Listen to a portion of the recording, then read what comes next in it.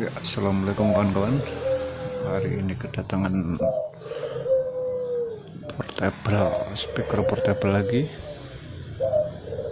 dengan kondisi indikator berkedip-kedip dan untuk casan juga kedip-kedip. Jadi, oke kita tes saja. Nah, ketika dicolokkan indikator ngedip kita on kan hanya ngedip begini. Ini tidak nyala oke. Kita cek. Oh, lama-lama berkedip-kedip. Dua-duanya. Oh, baru nyala oh kemungkinan ini di pengisiannya atau power supply nya kemungkinan. Oke coba kita buka.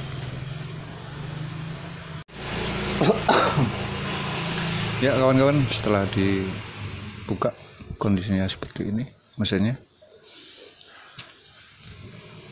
kita amati, amati dulu secara fisik apakah ada yang mencurigakan? Dari komponen-komponen yang di sini?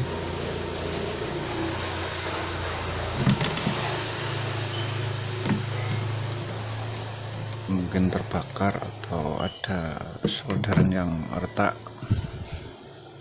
Kita amat-amati dulu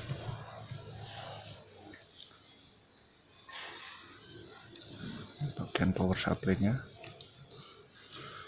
oke nampaknya secara fisik tidak ada yang mencurigakan. Coba saya cek-cek dulu apakah ada komponen-komponen yang bermasalah. Komponennya kecil-kecil butuh kesabaran dan ketelitian ya. hehehe oke saya cek dulu kawan-kawan hmm, ya kawan-kawan kita balik lagi uh, setelah penelusuran sana sini sana sini untuk power supply itu ternyata tegangan juga stabil di sini namun saat dibuat ngecas dia agak goyang bukan drop. Drop banget sih nggak cuma goyang. Jadi uh, akhirnya saya coba di elko untuk ini untuk cas ini coba saya tambahin. Di bawahnya ternyata berhasil. Dan sudah mau on seperti sedia kala. Oke kita tes hasilnya. Ini tanpa itu langsung di baterai. Nah, indikator sudah nggak kedip-kedip dan modul sudah menyala normal. Kalau ini di efek kamera kayaknya yang kedap-kedip ini. Tapi di sini enggak oke langsung kita play pakai USB nah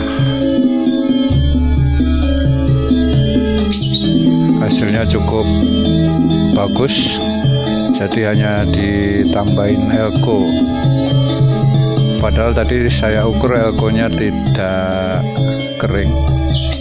Masih bagus. Cuma mungkin tegangannya dia kurang stabil oke. Sementara gitu dulu kawan-kawan. Kurang lebihnya mohon maaf. Semoga video ini bermanfaat. Terima kasih